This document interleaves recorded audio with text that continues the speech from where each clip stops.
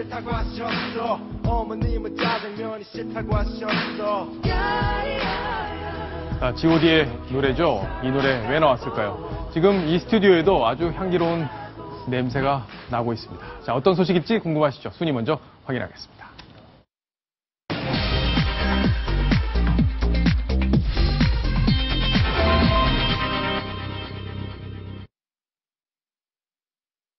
자, 이제 짜장면 이렇게 부르셔도 되는 거 다 알고 계시죠? 자장면만 되는 거 아닙니다. 자, 이 음식 싫어하는 분 거의 없을 것 같습니다. 자, 이 스튜디오에도 지금 저희가 짜장면 두 그릇을 준비했는데, 자, 오늘은 짜장면과 관련된 이야기. 야, 하루에 720만 그릇이나 팔린다는 그런 통계가 나왔는데요. 이게, 야, 이렇게 많이 먹어요, 짜장면을? 예, 저게 지금 2011년 기준 통계니까 예. 지금 2015년에는 여기서 좀 더 늘어날 수도 있을 것 같습니다. 뭐 그럴 수도 있겠는데 네.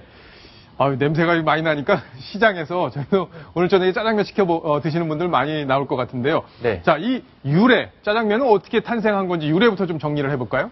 네, 우선 짜장면 같은 경우에는 한자로 하면은 작장면입니다. 예. 볶은 장을 얹은 면이라는 뜻이고요. 아 그렇군요. 근데 외래어 표기법을 하면 저게 발음상 자장 미엔인데 그 미엔을 저렇게 맨으로 썼었는데요. 저걸 우리음으로 명칭을 바꿔서 표준어는 자장면이었습니다. 그래서 지금 우리 주위에서는 보면 항상 짜장면 이렇게 얘기하는데 방송사 아나운서들이 항상 자장면 그러면서 왠지 좀 어색하다고 많이 예, 느끼셨죠? 어색하다고 그러고요. 잘난 척한다고도 그렇게 들었어요. 네, 그렇습니다. 예. 그래서 많이 이렇게 지금 뭐 잘난 척하는 거냐, 좀 꼴보기 싫다 이렇게 얘기했는데 예. 지금 이제 우리 표준어 연구소에서 이렇게 대중들이 많이 쓰는 단어를 표준어의 발음으로 인정하는 풍토가 생겼습니다. 그래서 자장면도 맞고요. 어디 방송이든 어디든 자신감 있게 짜장면 이렇게 얘기하셔도 예. 됩니다. 짜장면의 역사 한번 볼까요? 그러면 네. 예. 그 짜장면은 당연히 이제 우리나라 고유의 음식은 아니고요. 지금 중국에서 들어왔습니다. 아, 중국에서 1883년 인천이 개항할 때 중국 노동자들이 들어왔는데 이때 같이 들어왔고요. 110년이 넘은 거네요. 네. 하지만 예. 그래도 공식적으로 볼 때는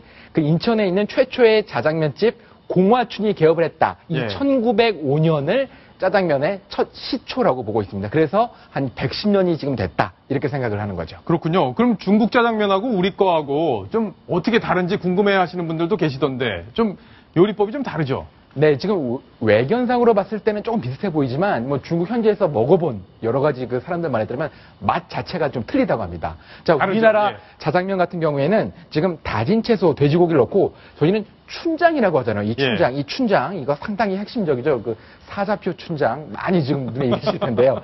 이 그리고 맛이 좀 상당히 달콤한데 중국어 같은 경우는 작장면이고요. 그다음에 저기는 춘장이 아니라 보시는 것처럼 천면장을 쓴다고 합니다. 이 천면장은 우리나라 입맛이 아니라고 중국인 입맛에 가깝기 때문에 상당히 좀 짜다고 그래요. 예. 그래서 지금 한국인들이 중국에 가서 아유 짜장면 아니냐 이렇게 저걸 시켰다가는 예. 낭패를 보는 경우가 많다고 합니다. 자, 그러면 이게 결국엔 이 우리가 지금 여기 마- 갖고 온 이 짜장면이 네.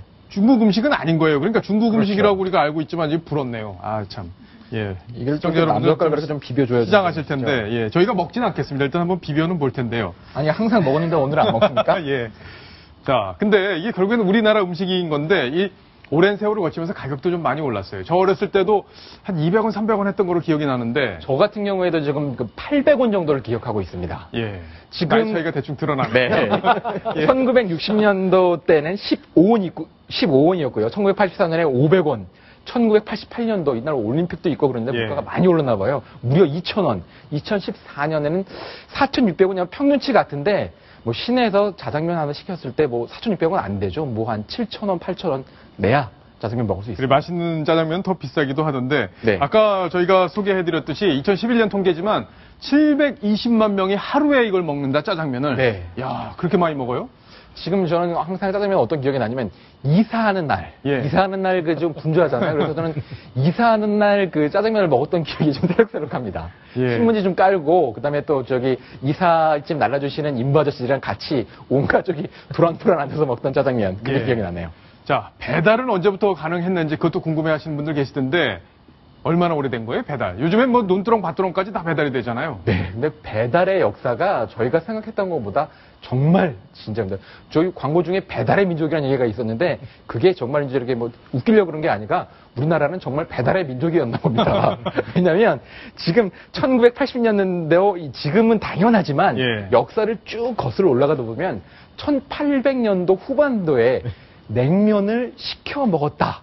이런 지금 기록 같은 것도 좀 있어요. 아, 이게 뜨거운 걸 시켜 먹었다는 게 아니라 냉면을 시켜 먹었다. 주문해서 먹었다? 예, 지금 예. 18세기에 이런 기록이 있으니까 그때 지금 광고를 보면 막 배달의 민족이라는 광고가 있는데 그게 아마 역사적 고증을 거치고 배달의 민족을 쓰지 않았나 예. 라는 생각도 한번 해봅니다. 예. 저 박지훈 변호사. 네. 예, 지금 시작하시죠. 아, 냄새가 나서 지금 방송이 지금 안 됩니다. 아, 예. 전 역대 꼭 짜장면을 먹겠습니다. 마, 맛있게 드시는 법 아, 혹시 네. 아시는 거 없, 없으세요? 어, 저 같은 경우는 뭐 다른 건 아니고요. 배고플 예. 때 먹으면 제일 맛있지만 아까 말씀하셨지만 방바닥에 신문지 깔아놓고 먹을 때가 제일 맛있습니다. 아, 저는 개인적으로 당구장에서 먹을 때. 예, 당구장에서 먹을 때 맛있고요. 예. 정상적으로 먹는 것보다 조금 약식으로 먹을 때가 제일 맛있습니다. 예, 맞습니다. 그리고 많이 이거 하시잖아요. 이렇게 고추장 할 때 보면은 이제 그저 대학가 주변에서는 대학생들의 젊은이들 그렇게 많이 먹거든요. 고춧가루를 살짝 뿌려 먹으면 또 맛이 좋아요. 예. 그래서 배달할 때 좀 고춧가루 달라 그러면 이렇게 랩에다가 고춧가루를 주는 전문적인 배달 음식 좀 예, 많이 있습니다. 초기에는 보니까 야, 이 이런 나무통에다가 이 나무통 만드는데 돈이 더 들었겠습니다. 예, 이런 데다 배달을 했다. 그리고 초기에는 이 양파나 단무지로 먹는 게 아니라 반찬으로 먹는 게 아니라 또 대파를 썰어서 먹었다 이런 얘기들까지 있던데 자 오늘 저희가 짜장면과 관련된 궁금증들 싹 풀어드렸는데 오늘 저녁에 짜장면 드시 드실 것 같네요 시청자 여러분들. 저희가 정리해 드리겠습니다. 자 다음 소식으로 갑니다. 다음 소식은 또 재밌는 소식이 기다리고 있습니다. 순위 먼저 확인하겠습니다.